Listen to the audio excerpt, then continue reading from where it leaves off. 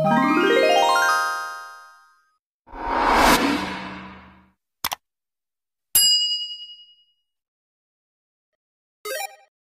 semuanya, kembali lagi di channel YouTube aku Idapar. Jadi di video hari ini aku mau membahas atau mau sharing mengenai TikTok Shop. Jadi pada bulan Juni aku tuh sebenarnya dapat email dari TikTok yaitu mengenai biaya admin untuk para pedagang atau seller di TikTok Shop. Nah, berapa sih kenaikannya dan kemudian kayak ada perhitungannya gitu. Aku bakalan share ke kalian semua supaya buat teman-teman yang baru mau buka toko di TikTok Shop biar tahu biaya adminnya berapa dan kali persentasenya berapa. Nah, buat teman-teman yang pengen tahu langsung aja simak video berikut ini dan jangan di-skip karena video yang bakalan aku share pastinya bakalan bermanfaat banget buat kalian semua. Oke, langsung aja jadi diinfoin uh, dari TikTok Shop itu lewat email. Jadi aku bakalan langsung nunjukin aja. Nah, ini dia.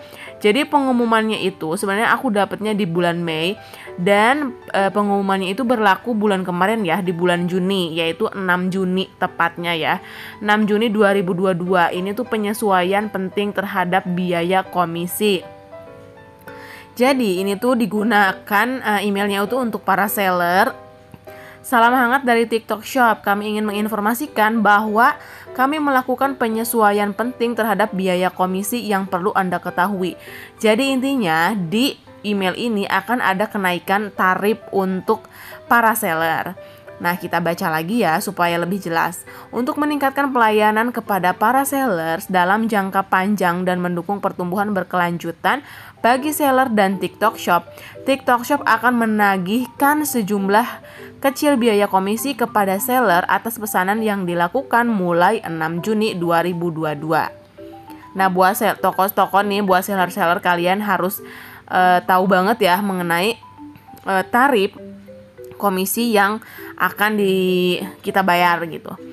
Nah, biayanya pembayaran saat ini akan diubah menjadi biaya komisi penjualan ditambah dengan tarif. Jadi itu bakalan ada komisi penjualan yang kita bayar dan tarif pun kita bayar gitu sebesar 2000 per pesanan. Jadi eh, setiap kali ada yang order berarti harus nambah tarif sebesar Rp 2000 ya.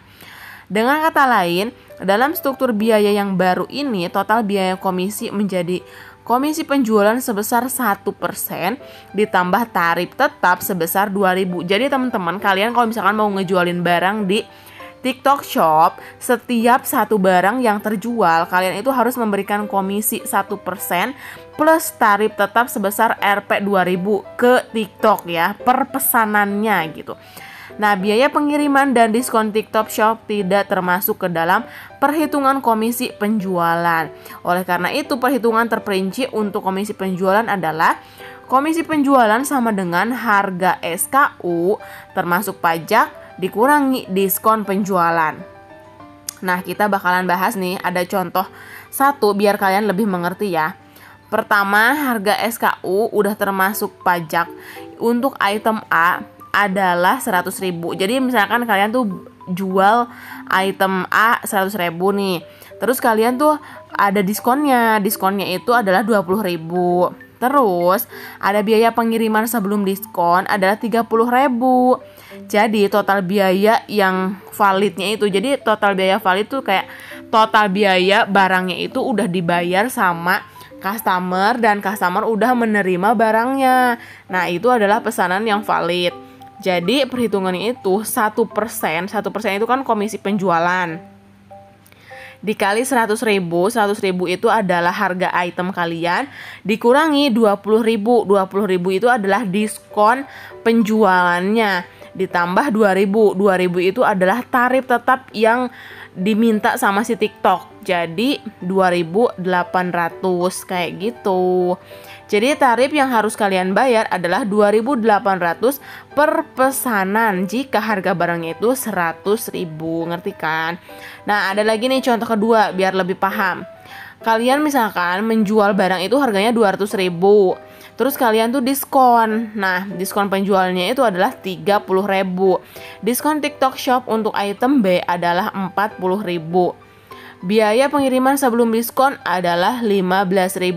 Dengan demikian, biaya komisi untuk pesanan valid valid adalah satu persen kali 200 ribu. Barangnya dikurangi 30 ribu. Jadi 30 ribu itu diskon penjualan gitu ya kalau misalkan diskon TikTok Shop untuk item B yang 40.000 itu diabaikan aja. Jadi tetap yang dipakai adalah yang 30.000. Ditambah 2.000 tarif tetap jadi 3.700 gitu. Jadi seperti itu ya untuk perhitungannya. Jadi kalau misalkan harganya 200.000 diskon penjualannya 30.000, kalian harus bayar per pesanannya itu 3.700 ya ke si TikTok Shop gitu teman-teman. Nah, terus penyesuaian komisi akan memungkinkan TikTok Shop berpotensi menguntungkan penjualannya dengan cara berikut.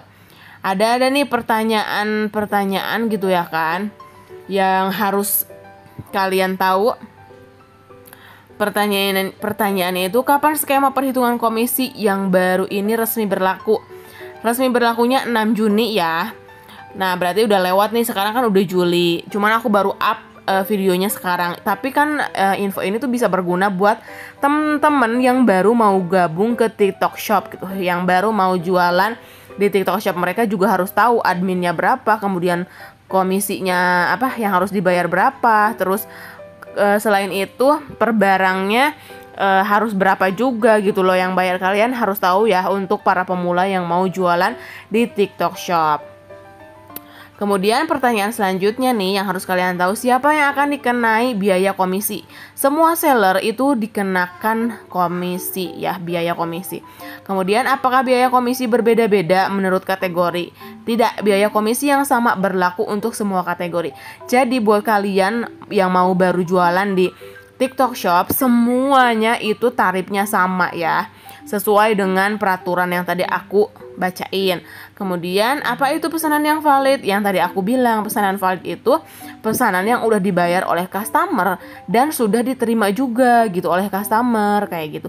Tapi kalau misalkan pesanannya itu dibatalkan itu dikembalikan barang atau dana sepenuhnya jadi nggak dianggap pesanan valid. Jadi kalian juga nggak usah membayar kayak tarif satu persen kemudian yang tarif 2000 nggak usah karena kan itu bukan pesanan yang valid jadi bakalan uh, nggak usah bayar gitu. Nih, pertanyaan penting lagi nih. Jika pengguna melakukan dua kali transaksi dalam satu toko penjual pada waktu yang berbeda walaupun dengan alamat pengiriman yang sama, apakah biaya tetap yang 2000-nya itu dibebankan sekali atau dua kali? Karena kan pertanyaannya alamatnya sama gitu ya kan, cuman uh, pemesanannya berbeda gitu. Dan jawabannya masih akan tetap dibebankan dua kali karena biaya tetap dibebankan pada setiap transaksi yang dilakukan. Jadi, walaupun kalian misalnya pesan pesanannya tiga nih, tapi walaupun dikirim ke alamat yang sama, itu kalian harus tetap bayar biaya 2000 per pesanan, teman-teman. Jadi, walaupun ya harus tetap bayar gitu loh walaupun alamatnya sama juga enggak enggak sekali transaksi doang bayarnya harus tiga kali berarti kalau ada tiga orderan walaupun alamatnya sama jika pembeli melakukan pesanan sebelum 6 Juni tetapi pesanan selesai pada tanggal 6 Juni atau setelahnya, apakah saya akan dikenai biaya? Tidak. Hanya pesanan yang dibuat setelah skema perhitungan ini diterapkan pada tanggal 6 Juni. Jadi kalau misalkan yang sebelum-sebelum berarti nggak nggak usah ada, ada komisi gitu. Bagaimana proses pengembalian dananya? Jika seluruh pesanan dikembalikan, biaya komisi akan dikembalikan penuh kepada seller. Jika sebagian pesanan dikembalikan, komisi penjualan yang dikenakan pada item yang dikembalikan akan dikembalikan kepada seller. Tetapi tarif tetap sebesar 2000 tidak akan dikembalikan. Oh, jadi tuh kalau misalkan biaya komisi itu akan dikembalikan penuh kepada seller. Tapi kalau misalkan untuk tarif tetap itu nggak dikembalikan teman-teman kalau misalkan ada pesanan yang dibatalkan gitu. Nah itu ya mengenai komisi untuk TikTok Shop buat teman-teman pemula kalian harus tahu nih kok apa admin adminnya berapa apa yang harus dibayar berapa berapanya supaya kalian bisa hitung hitungan antara harga jual gitu dengan komisinya supaya kalian tidak rugi gitu. Oke teman-teman itu dia ya video dari aku. Semoga video yang aku share bisa bermanfaat buat kalian semua. Jangan lupa like, comment, subscribe di video channel YouTube aku dan see you on my next video. Bye bye.